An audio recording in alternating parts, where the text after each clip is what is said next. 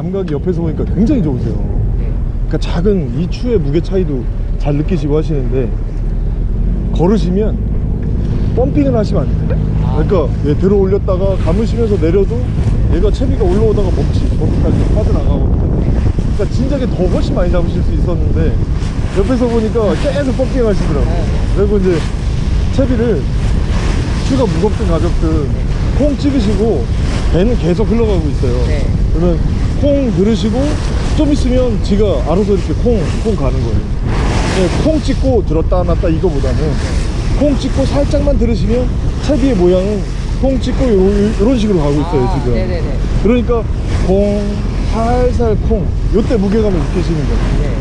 그리고 이제 조금 어려우신 게 콩 찍고 봉돌이 떠내려갈 때가 있어요 네. 오히려 바닥이 안 찍힐 때 그럴 때 챔질하시고 그냥 정속 똑같이 릴링만 하시면 됩니다 예. 아, 그러니까 쿵쿵 이거 이거 하시면 도망가니까 네. 콩 찍고 들었다 놨다만 하시면 옆에서 보면 이렇게 이렇게 이렇게 계속 가고 있는 거예요 네네.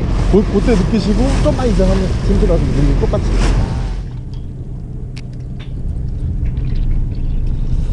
이야 우리 우리 사장님 자세 엄청 좋아지셨네 아, 그래요? 예, 예. 감사합니다. 하나만 더 말씀드릴게요 요게 그니까 릴을 잡으실 때 네.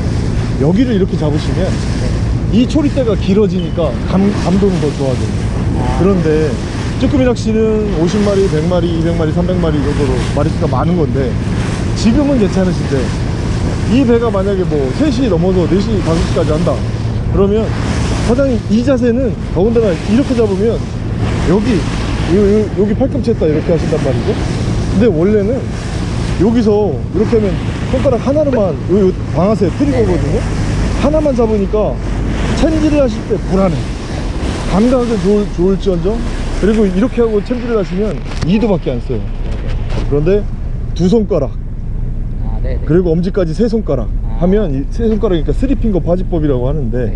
이렇게 하시면 겨드랑이에 끼실 수 있어 아. 그러면 오후 낚시에도 체력이 그렇게 떨어지지 않고 꾸준히 네. 하실 수 있습니다 릴링 하실 때도 네. 좀 괜찮고 그리고 이- 요 중간에 여기다가 손가락을 끼우시고 네.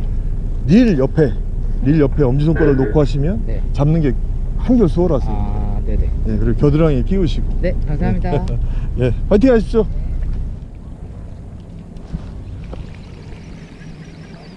자 사장님 자- 잠깐만요. 한 마리 잡잖아요? 그러면 내가 그 이 고기를 털어버려야지 하고 그게 갈물이거든요? 그러면 대부분 많이 안 해보시면 이, 이만큼은 가버 그래서 손은 이만큼 벌려갖고 이- 이게 굉장히 불편하고 옆에 사장님께도 피해거든요. 내리셨다가 잡으셨을 때 눈 깜냥을 보셔야 돼. 이것만 들면 하고 이, 이, 이것도 굉장히 중요해요